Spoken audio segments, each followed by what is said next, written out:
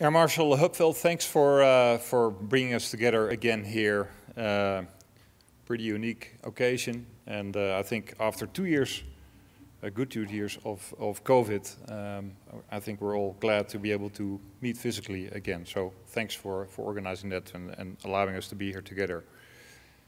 And I think it's good uh, for us all as we sit here um, that although be it at the other side uh, of the globe, uh, in Europe, right now, there, there is a war going on. And, and who would have thought that a few weeks ago, uh, that that would happen?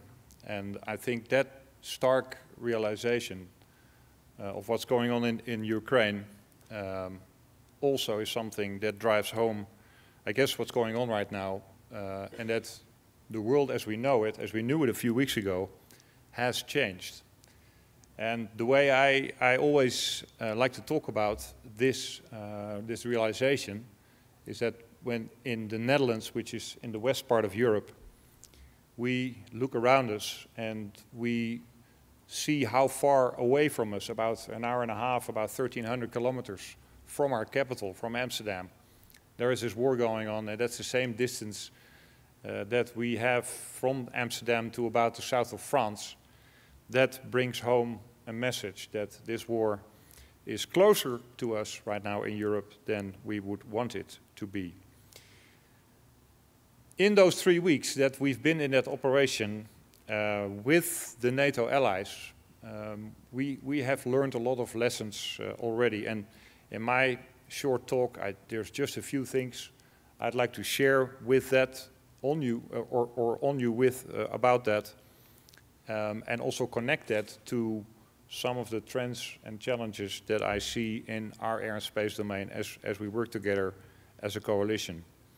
This slide depicts our neighborhood right now in, in Europe with an aggressive Russia uh, that invaded a sovereign nation, Ukraine, with a lot of activity connected to that, including a, a vast flow of refugees uh, right now, more than 4 million refugees out of the Ukraine flowing into Europe, but also other nations. Uh, and that brings home uh, a message that something is really happening there.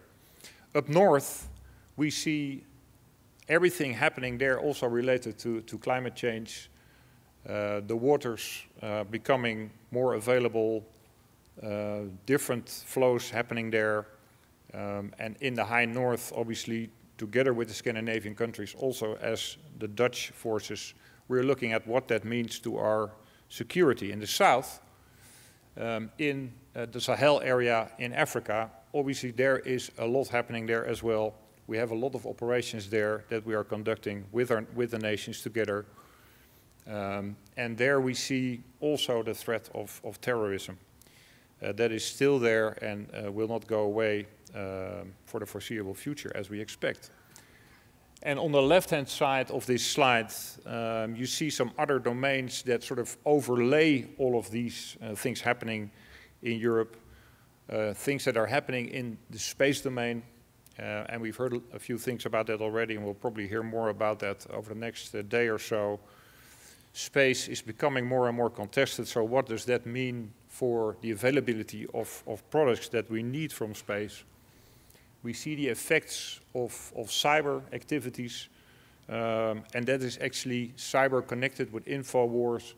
It's also fake news, those kinds of things are also injected in what is happening with the war in Ukraine and the, the effect it has also on our people and the way the people view this war and, and look at its facts and its realities.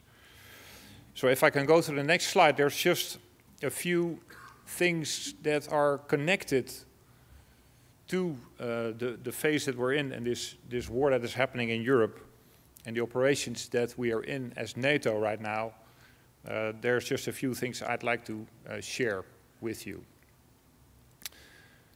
First of all, and, and this term uh, was mentioned already before uh, today, uh, and, and, that's a term uh, uh, called gray zone ops. Um, for the last 20 years, I would say, it was sort of almost a neat division between war and peace. Peace we had at home, uh, in Europe, we were all safe and secure, and the operations we have done over the last 20 years have been expeditionary. We have done operations in Iraq and Syria, we have done operations in Afghanistan, we were involved in operations in, in Africa, and obviously we were involved in operations nationally also. And the pandemic that we've just witnessed and we're still in, in the last bits of it, at least let's hope so, that it, that is the fact, is also an example of a national operation that I think in all our nations had a, had a big impact and where the military also played a role. But that normal uh, of war and peace and also the wars of choice, I would say, the, the, operations of choice that as nations we have been in, has now rapidly changed to uh, a war of necessity. And that is all about defending our, our NATO alliance against threats, uh, uh in this case from the east. And it requires almost new rule sets, because now we're operating not in this clear-cut situation of war and peace, of at home and away on, on, on a mission uh, somewhere far away.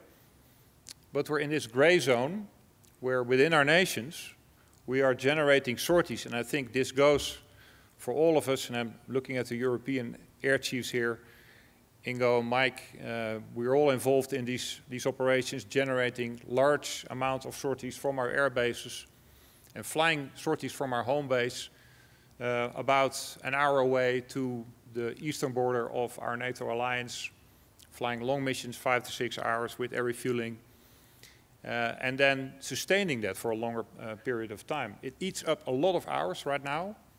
Uh, at any given time, there's probably about 100 aircraft alliance-wide that are involved in this operation on our eastern border. And it eats up a lot of capacity. It eats up a lot of hours. It, uh, it forces us to ramp up our sustainment efforts. And this is just for the operation as we're doing it right now, which is basically air policing. Imagine what would happen if Mr. Putin decides to cross the Article 5 threshold with NATO, which would force us to ramp up the number of sorties that we fly and the efforts that we put into this operation, and what that would do with our sustainment efforts. Um, and that is something which I would say shrinking air forces over the last 20 years that brings home the realization that we need to invest once again in expanding our capability and in increasing numbers as well. A second point that's on this slide is, is understanding. If there's one thing that we have learned from, from the operation that's going on right now, the importance of understanding what's going on on the ground. In this case, uh, in, in, in the country Ukraine, in the neighboring countries, in Russia, uh, in Belarus, in all the, in the Baltics, on, in the nations around uh, the, the, the, the, area that we're talking about, uh, and understanding indicators and warnings, and investing in capabilities that allow us to understand that better, uh, I think realization with most European countries is that we really need to make a step forward there. Right now we're still relying a lot on US assets that have been deployed across uh, from uh, across the Atlantic to Europe, and we need to work harder on, on working that, uh, that part of the puzzle as well, creating situational understanding. And what doesn't make that easier, and I'm saying that also as a nation that operates F-35, an aircraft with a special access program, for all the good reasons, uh, but if you have a lot of those special access programs in an operation, you will also see some stovepipes starting to exist.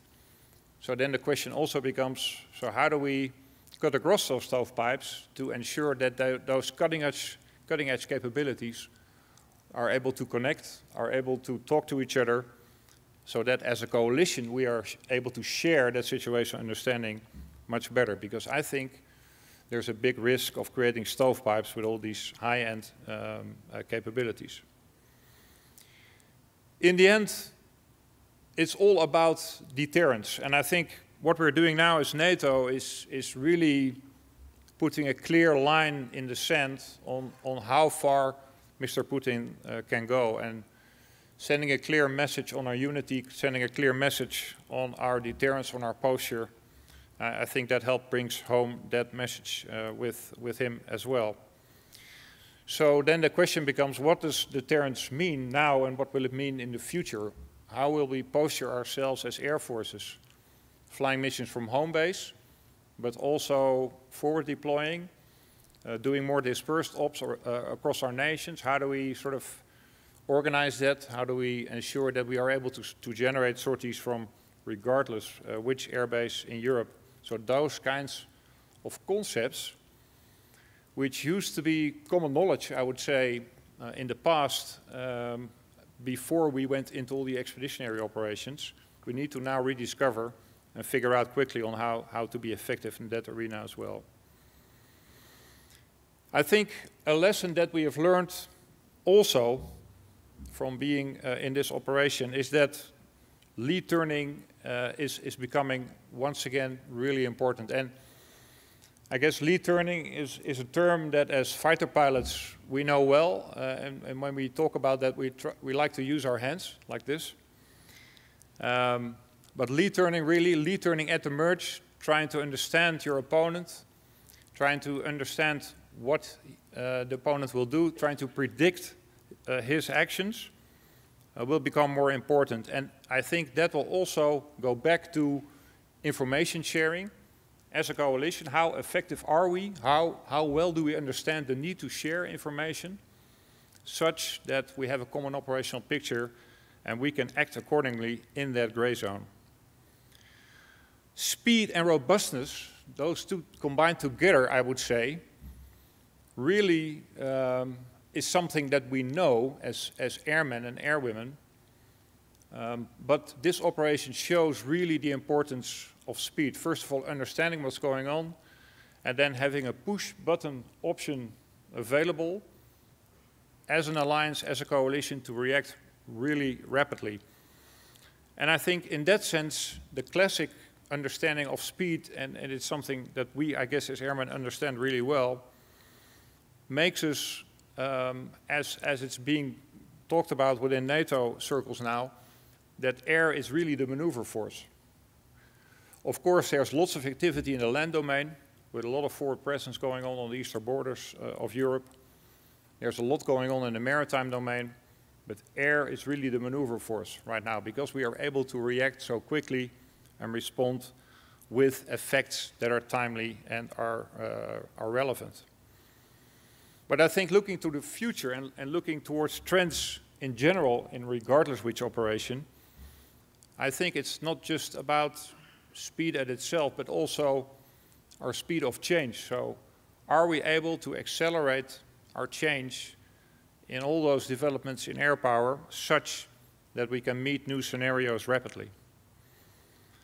And the robustness connected with that, I guess, is also about mass, about being able to operate 24-7 again, generate sorties from our home bases, have the numbers, being able to operate in two shifts. And trust me, uh, when I look around the room, I think there's a couple of air chiefs uh, here uh, with us, uh, including myself, that look at their organization saying, hey, we've built an organization over the last 20 years which is really equipped for one-shift operations.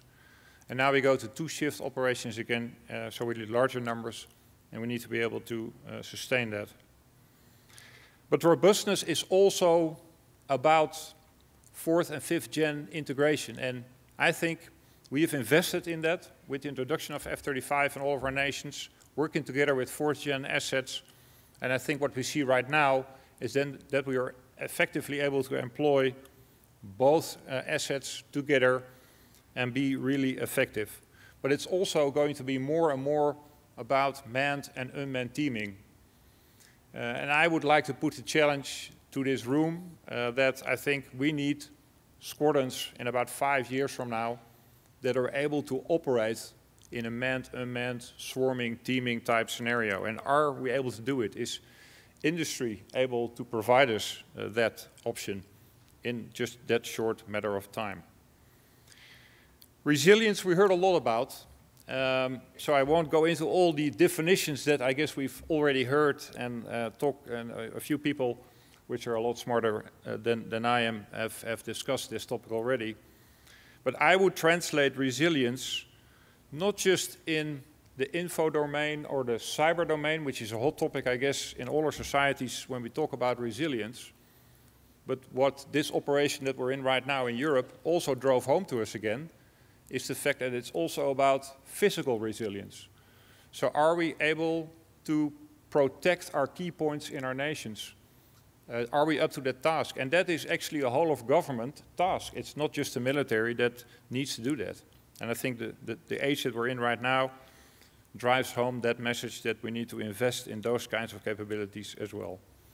And I would like to close off with unity. I think in a scenario that we are witnessing right now in Europe, but I would say in any scenario, unity is our best weapon.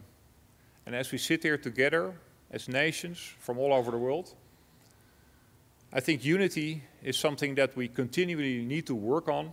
Uh, and unity is about standards. It's about being able to operate and train together with, with our weapon systems. And our men and women are really good at that. I think we can be confident in that. But it's also about relations. And I think events like this, and once again, Air Marshal Hupfeld, I think you have created an event where we are able to work on those relations. And I think that is an important part of providing the unity that is part, uh, I think, a very important part of a solution in all the scenarios that we will be working in as a coalition. Thank you.